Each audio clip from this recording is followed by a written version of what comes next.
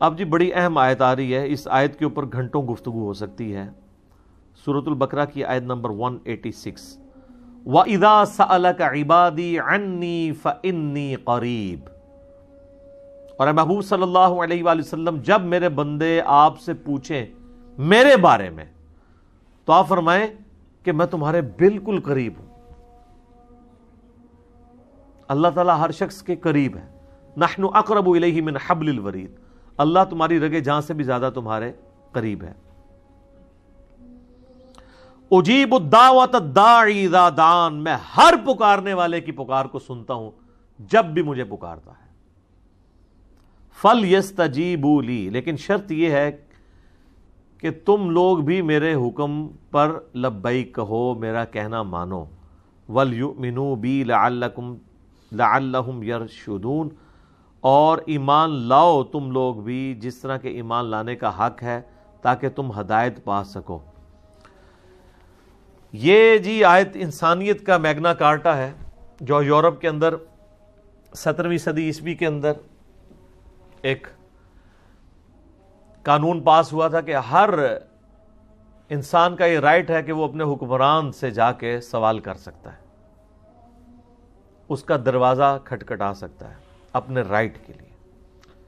ये आयत पूरी इंसानियत के लिए मैग्ना कार्टा है कि हर शख्स अल्लाह ताला को पुकार सकता है। बीच में किसी को कोई डालने की ज़रूरत नहीं है। अब इससे ज़्यादा और किन अल्फाज में समझाया जाए कि जब मेरे बंदे आपसे मेरे बारे में पूछे तो आप फरमाए, मैं तुम्हारे बिल्कुल करीब हूँ। हर पुकारने वाले की पुकार को सुनता हूँ। अब यहाँ तो यह होना चाहिए था कि मैं तुमसे बहुत दूर हूँ, एक सीढ़ी लगाओ, मेरे तक पहुंचो, विच कोई पाओश है। कहना ना विच कोई कहते छत तक पहुँचने के लिए सीढ़ी चाहिए होती है तो आप सीढ़ी के बगैर छत तक नहीं पहुँच सकते। इस तरह की मिसालें अल्लाह के बारे में बयान करना, ये तो हराम है। बाज़ात कुफर हो जाता है। कुरान में आप देखें, जगह जगह जहाँ पर काफरों पर रद्द किया गया तो बार बार ये कहा गया है कि अल्लाह के बारे में ऐसी बात ना करो जो इल्म के ऊपर मबनी नहीं है। तुम बगैर इल्म के अल्लाह के बारे में ये बात कर रहे हो। दो दफ़ा तो एक ये आयत आई है सूर्य निसाम अलमायदा में। या अहल किताब, ला तगलू फ़ी दीन कुम वला तकूल हक। ए अहल किताब, अपने दीन में गलूफ ना करो। अफरात तफरीद का एग्जेजरेशन का शिकार ना हो। और देखो, अल्लाह के बारे में कोई बात ना करो, मगर वो जो हक पर मबनी है, जिसको वही सपोर्ट करेगी। और फिर आप सूर्य हज के अंदर सूरतुलमोमिनून में देखें, जहाँ कहीं भी अल्लाह ताला काफरों की बदअकीदगी का ज़िक्र करता है तो यही कहता है कि ये लोग बगैर इल्म के अल्लाह के ऊपर ऐसी चीज़ें डाल देते हैं।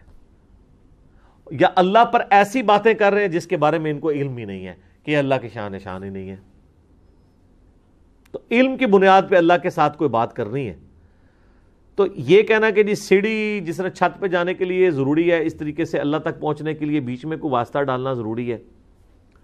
अगर आप इस वास्ते से मुराद पैगंबर को ले रहे हैं तो वो पैगंबर सीढ़ी नहीं है, बल्कि पैगंबर आपको अल्लाह की शनाख्त करवाते हैं। वो बताते हैं कि अल्लाह ताला किन चीज़ों से राज़ी होता है, किन चीज़ों से नाराज़ होता है। वो ये नहीं कहते कि आप हमें पूजना शुरू कर दो। वो कहते हैं, हम जो तुम्हें सिखा रहे हैं ना, इस तरीके से अल्लाह की तरफ़ रुजू लाओ। और वो हमेशा ये कहते हैं कि हम ये जो तुम्हें सिखा रहे हैं, ये हम खुद तो सिखा ही नहीं रहे, हमें अल्लाह ने सिखाया। तो पैगंबर तो फिर अल्लाह के अहकाम को समझाने के लिए दुनिया में आते हैं। वो सीढ़ी नहीं होते इस एतबार से। वसीला होते हैं तो इस एतबार से कि अल्लाह के अहकाम हम तक पहुंचाते हैं। इस एतबार से नहीं कि उनकी इबादत करनी शुरू कर दी जाए। जैसा कि क्रिश्चियंस ने ईसा इस्लाम के बारे में करना शुरू कर दिया।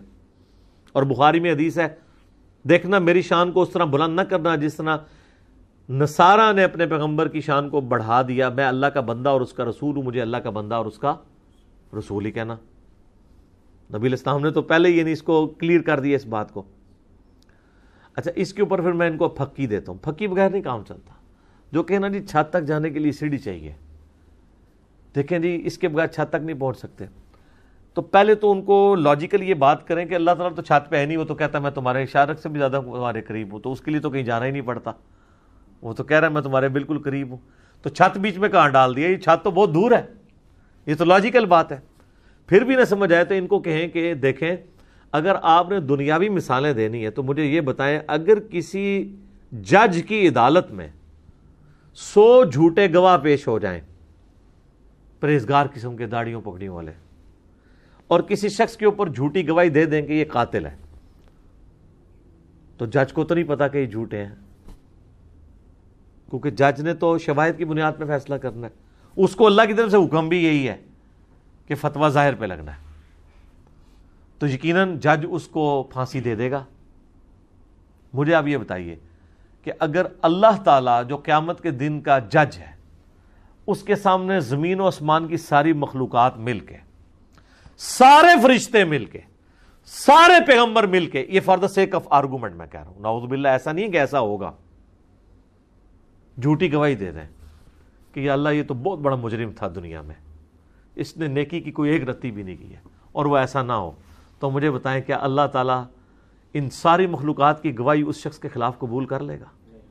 तो इसका मतलब अल्लाह के लिए तो मिसाल ही नहीं बयान हो सकती। कितनी बड़ी फकी है। ए जनाब, जेलम शरीफ ही तैयार होती है। इधर वो खुद भी मानेंगे। उनको कह, नहीं नहीं, आप तो आप उसी उसूल में आए ना, सीढ़ी वाले में।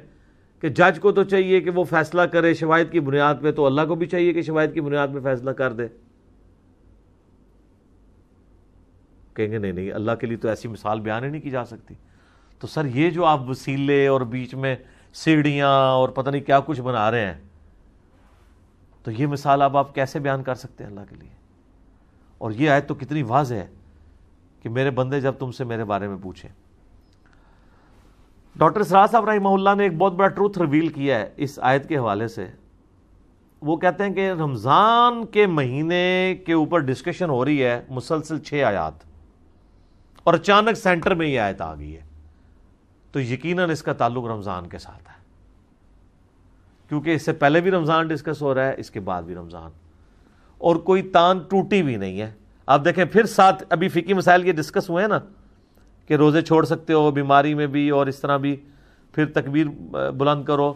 फिर दोबारा से आप फ़िकी अकाम मसाइल शुरू हो जाएँगे इनके, रमज़ान के रोज़ों के। वो कहते हैं कि जी, ये सेंटर में और ये एग्जैक्ट सेंटर में है आयत। वो कहते हैं, इसका मकसद ये है कि रमज़ान वो महीना है जिसमें आप कुरान के ज़रिए अल्लाह तक पहुँच सकते हैं। क्योंकि कुरान ही तो तस्कीर करता है इंसान की। अगर उसका तर्जमा आता हो। या तर्जमा ना आता हो तो कम अज़ कम आप एयर फ़्लाइट मोड में करके मोबाइल या मुसफ़ हाथ में ले कर तरावी में खड़े हो जाएँ और आपको पता हो तर्जमे वाला कुरान हो कि क्या कारी साहब तिलावत कर रहे हैं। तो फिर तो आप पे असर होगा। सबक राम को तो ये कोई परेशानी नहीं थी तो उनकी अपनी ज़ुबान थी। तो जब कोई शख्स रमज़ान में इबादत करता है, पूरा दिन भूखा प्यासा रहता है और रात को खड़ा हो जाता है कुरान सुनने के लिए, कितनी तकलीफ़ उठाता है। दिन को अपनी भूख और प्यास को बर्दाश्त करना, पेट की कुर्बानी देना और रात को नींद की कुर्बानी देना। दोनों कुर्बानी होगी ना। तो इंसान के दिमाग में एक बात तो आती है ना कि मैं जिसके लिए कुर्बानियाँ कर रहा हूँ, क्या उसको भी पता है कि मैं उसके लिए क्या कुछ कर रहा हूँ? जब इंसान को यह पता होना कि मैं जिसके लिए कर रहा हूँ, वो मुझे देख रहा है। फिर तकलीफ़ झेलनी आसान हो जाती है। ये एक नेचुरल चीज़ है।